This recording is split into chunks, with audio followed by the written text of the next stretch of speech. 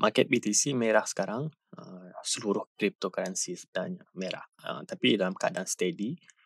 Um, sebab itu uh, kalau lihat yang itu hari yang kita jatuh adalah 37,600 lebih kurang dekat area situ 7, uh, 37,700 tapi sekarang kita berada dekat 38,170 uh, tapi uh, harga semasa adalah 3, 38 uh, 38,329 Uh, tapi kita kena bersiap sedia untuk membeli strategi kita hari ni. Uh, saya nak tunjuk strategi saya. Saya dah ubah ubah lagi okay nak tunjuk untuk long term dan uh, short term okay long term dan short term. Strategi untuk long term adalah uh, oh untuk short term dulu kalau kalau kita lihat gerakan uh, apa BTC ni uh, melakukan reversing dekat uh, di area sini berjaya kelihatan seperti uh, tengah berlakunya reversing sebab apa uh, pergi ke oversold agak gagal pergi ke area oversold. Retest uh, agak gagal juga untuk tembus area sini. Jadi kita nak lihat ya uh, kalau boleh uh, biasa lakirkan uh, satu garisan dekat sini. Eh okey kita uh, ni ada resistance masa okey sampai sini ada support dan uh, jadi uh, support akan bertukar jadi uh, resistance. Sekarang uh, gerakan yang kita nak lihat adalah kalau boleh uh, nak dia naik ke atas, okay. Nak dia dia tembus daripada trend line ni, eh melakukan higher uh, higher low, lepas tu melakukan uh, lower high, lakukan lepas tu melakukan higher low, Lepas melakukan uh, higher high, melakukan higher low. Lepas tu melakukan uh, higher high. Gerakan seperti macam tu kita nak lihat. Okay. Dekat sini ada strategi yang saya nak tunjuk adalah untuk long term dan short term.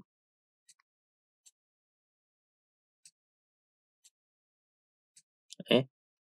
Long term adalah kena dia berada kena atas exponential moving average yang 200 untuk short term adalah kena berada di atas exponential moving average yang 50 kalau dia berada di atas exponential moving average 50 gerakan yang saya lihat adalah kena saya kena lukis garis uh, ni.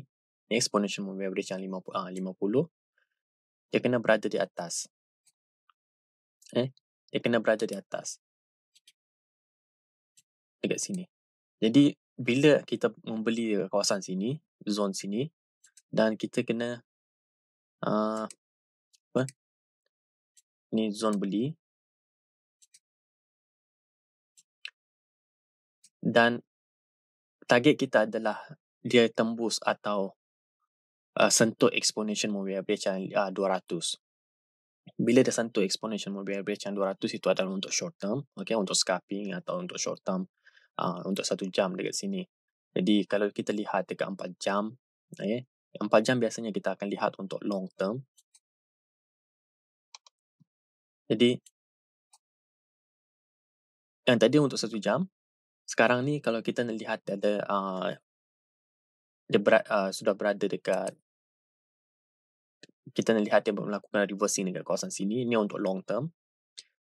Bila dia melakukan reversing dekat kawasan sini kita nak lihat dia uh, sentuh exponential moving average yang 50, uh, 50 itu adalah untuk short term. Dan uh, kalau dia tembus dia pergi sentuh exponential moving average yang 200 itu adalah untuk long term bukan untuk long term tapi untuk uh, kira long juga. Uh, uh, untuk trading untuk long untuk mungkin mungkin seminggu atau dua minggu. Lepas tu uh, kalau dia tembus daripada situ itu adalah untuk yang long long term untuk yang betul-betul uh, long. Katalah tunggu sampai sampai dia naik ke atas entah ke mana sampai 42 atau 48 kat situ baru kita uh, akan ambil itu adalah untuk sebulan atau sebulan lebih. Lepas tu yang untuk investment pula, investment tak kisah nak labur dekat mana. Uh, ini adalah yang uh, ni, boleh labur dekat sini. Dan tunggu target yang target yang berapa tahun korang nak pegang. Jadi itu adalah uh, strategi uh, saya. Tapi uh, bagi uh, dekat sini, kalau lihat dekat sini, ni exponential moving average yang 50 dia tidak menjunam seperti mana yang kita lihat dari sini tapi dia menjunam agak uh, agak rat, uh, dalam keadaan da, uh, apa uh, rata dan kita lihat kalau dia tembus daripada trend line ni untuk 4 jam dan kita akan uh, kita akan keluar labur Ya, saya lukiskan sekali lagi. Oh, saya, saya rasa dah padam tadi.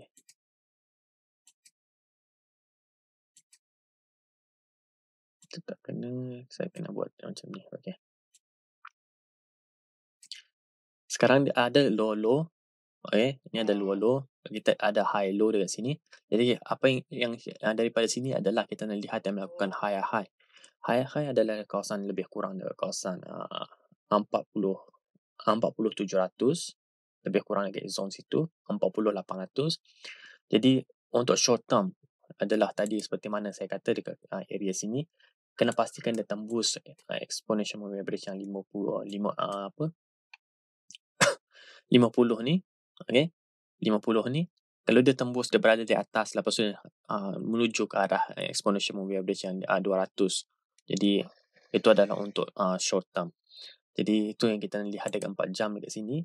Jadi kalau dia kalau dia tembus dekat 1 jam jadi kita punya tanda adalah exponential moving average yang uh, 50 dekat 4 jam jadi kalau dia tembus daripada sini uh, lepas tu kita boleh membeli balik kalau dia melakukan retest lepas tu kita akan uh, jual dekat kawasan bila dia sentuh exponential moving average yang 50 uh, uh, 200 okey biar saya tunjuk dekat kawasan sini sebagai contoh okay.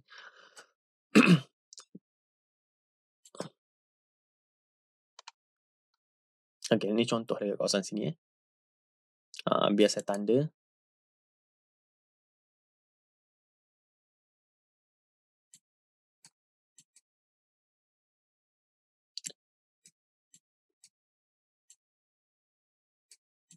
Kalau korang nampak kat sini dia tembus. Lepas tu candle merah tu. Eh, candle merah tu. Kalau korang nampak candle merah uh, candle uh, candle merah lepas tu candle hijau. Jadi candle merah atas candle merah tu ada kita punya order, bawah candle merah tu adalah kita punya stop loss. Lepas tu dia akan uh, naik ke atas, uh, dia akan melakukan uh, lakiran seperti macam ni, eh, uh, gerakan seperti macam ni. Bila dia melakukan gerakan seperti macam ni adalah tempat kawasan kita akan akan menjual. Kalau dia tembus atau dia sentuh exponential moving average yang 5, uh, 200 ni, kita akan akan jual balik. Ini adalah untuk short term. Ini berapa jam saja. Okay eh, 1, 2, 3, 4, 5, 6, 7, 8, 9, 10. 10 jam lebih kurang dalam 10 jam atau 9 jam atau 8 jam kita dah ada, kita dah dapat target kita. Tapi kalau dia sentuh exponential moving average yang 50, eh, yang 200 sorry, yang 200 ada kat area situ dalam 3 jam macam tu kita dah ada kita punya ni. 3 jam atau 4 jam kita dah ada kita punya target eh. Sebab so, dia akan menjunam lepas tu kita akan uh, lagi ni lepas tu kita akan beli lagi lihat dekat sini. Bila dia tembus kita punya candle hijau ada merah dan ni bertahan di atas. Atas merah tu adalah kita punya order bawah merah tu adalah kita punya stop loss. Dan kita akan uh, lihat dia sentuh exponential moving average yang uh, 200 lepas tu dia patah balik. Jadi bila dia sentuh kita akan keluarkan lepas tu kita beli balik bila dia berada di atas exponential moving average yang uh, ni uh, 50 lagi dia akan tembus satu dia sentuh lepas tu kita akan keluarkan. Lepas tu kita nak tunggu gerakan yang sama juga bila dia berada di atas exponential moving average yang 50 bertahan dan sentuh atau tembus kita akan jual balik. Jadi satu sekarang ni saya nak tunjuk dekat uh, area 4 jam. Nak tunjuk dekat korang dekat 4 jam macam mana. Lihat dekat 4 jam dekat sini kita ada engulfing candle okay? Kita ada engulfing candle dekat kawasan sini. Jadi bila jadi kita kita punya order ada kalau dekat 4 jam kita punya order adalah dekat atas candle yang ni hijau yang ni atas candle sebab ni candle ni pernah jadi merah okay? dia naik ke atas dia jadi merah pergi ke bawah. Jadi kita ada dalam keadaan selamat sebab kita nak tahu dia tembus atau tidak. Kalau dia tembus dia akan melakukan engulfing candle. Dia akan terus untuk exponential moving average yang 50 atau akan tembus sedikit. Akan cuba menuju ke arah 200 tapi tidak berjaya dia akan patah balik zone sini adalah zone yang sama okay? bila dah sentuh exponential moving yang uh, apa biar saya tanda sekali lagi biar, biar saya tunjuk dekat sini nampak jelas eh? ni adalah zone yang dia sentuh eh? 50 bila dia sentuh yang 50 punya jadi kita akan keluarkan atau kita tunggu dia ah, melakukan gerakan seperti menunjukkan sebab engulfing candle okay? bila dia engulfing candle tu maksudnya ada 2-3 candle lagi akan hijau jadi bila ada engulfing candle seperti macam ni panjang, uh, tembus daripada kawasan resistant, ya, kita lihat dia keluar daripada resistant maksudnya akan kekuatan dia ada. Dia bukan seperti macam ni. Ini ada engulfing candle tetapi dia kena lawan dengan candle engulfing bearish ni agak agak uh, uh, apa uh, kalah. Jadi uh, jadi kalau kita nak lihat yang ini kita kena pastikan dia berada di atas exponential moving average yang uh, 50 dekat kawasan uh, ni satu jam punya. Jadi satu jam punya kita lihat dekat sini. Okay. Lihat. Tanda dua tanda ni yang saya tanda, uh, tanda tadi biar saya kecilkan sikit lagi kenapa dia jadi besar okey bila kita lihat tanda kita dekat kawasan sini tadi saya uh, kita ada tanda lepas tu dekat exponential moving average yang 200 tapi dekat 4 jam adalah penunjukan exponential moving average yang uh, 50 uh, entah ke mana dah hilang dah. Okey saya tak apa saya tukar yang ni. Uh, chart agak gila sikit. Uh, trading view waktu sekarang ni. Okey lihat dia sentuh exponential moving average yang 50 dekat kawasan situ. Bila dia sentuh, eh, uh, bila dia sentuh, jadi kita akan keluarkan atau bila kita nampak engulfing candle seperti macam ni, kita biarkan dalam satu dua candle dulu. Lepas tu kita ada nampak uh, inverse uh, hammer, lepas tu melakukan reversing dan kita akan jual ini untuk short term. Tapi untuk long term, kita kena pastikan dia berada di atas exponential moving average yang 200. Eh, untuk dekat 4 jam. Sebab apa? uh, biar saya tunjuk dekat kawasan sini. Ini untuk long term eh. Bila dia tembus naik atas, okay, ni berapa kali gagal. Okay, berapa kali gagal. Tapi agak berjaya juga. Uh, boleh jual dekat kawasan atas kalau dia pergi oversold. RSI adalah sangat penting untuk kita kena uh, lihat. Kalau dia pergi oversold, kita boleh uh, boleh jual. Dekat sini, kalau dia lihat dekat sini, dia berada di atas exponential moving average yang 200 tapi dia tidak berada dekat uh, area oversold dia berada di kawasan sini, dia berlega-lega, tidak pernah sentuh, uh, sentuh tapi dia masih lagi bahagian bawah. Lepas tu dia terus naik ke atas. Dia, dia terus uh, dia terus naik ke atas. Okay? Bila dia terus naik ke atas, baru kita akan, bila dia berada dekat oversold, kita akan jual. Jadi, itu adalah target kita. Jadi, uh, itu adalah untuk long term.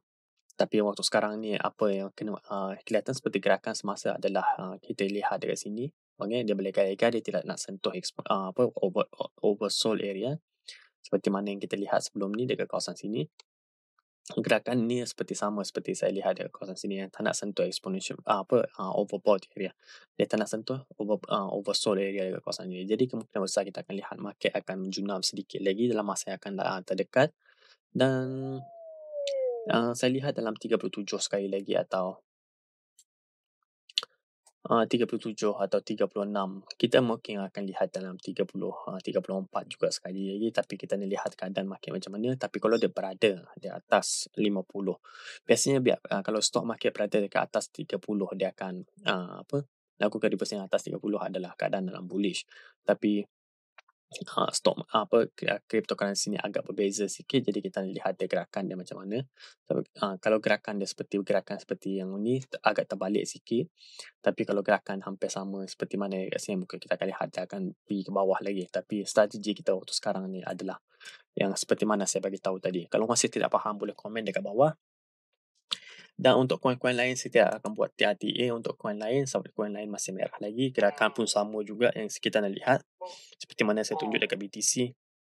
Tapi kalau korang nak tahu juga uh, apa-apa, saya ada link Telegram dekat bawah. Saya akan update chart ni. Chart ni akan update automatic pergi ke Telegram uh, uh, channel. Uh, akan pergi ke automatic dekat sana. Macam mana strategi apa waktu buy saya untuk short term atau long term. Jadi kalau kalau korang nak oh, belajar atau nak tahu uh, waktu bila saya beli okay waktu bila saya beli uh, waktu uh, ni waktu singkat seperti mana semalam saya ada ada, ada update dekat kawasan sini juga uh, kalau lihat uh, XRP okay. XRP uh, ni ada zone beli saya okay. Saya bagi tahu dekat uh, saya ambil leverage okay. Saya ambil leverage uh, tak nampak. Okay ni ada dekat sini. Saya ambil uh, saya ada bagi tahu dekat sini. 15 jam yang lepas saya bagi tahu saya ambil leverage. Uh, order masuk pada uh, 6 6220 adalah zone uh, zone beli saya. Dekat situ atas sikit daripada target oh. saya ambil gambar ni lepas tu uh, target uh, area saya akan jual dekat 6260 tetapi uh, saya dapat uh, saya dapat atas sikit daripada kawasan situ. Uh, lepas tu kalau lihat keputusan kalau lihat dekat sini keputusan dia eh eh kalau lihat dekat sini keputusan dia saya dapat sebab saya jual eh kalau lihat keputusan dia kawasan situ dia pergi ke over oversold area. Jadi oversold area tu adalah kita punya uh, bukan overbought area adalah kawasan kita punya target. Jadi dia pergi ke overbought dan saya ambil kesempatan untuk uh, extendkan saya punya untung. Lepas tu jual dan uh, tunggu balik. Jadi itu adalah gerakan itu adalah saya punya strategi biasanya.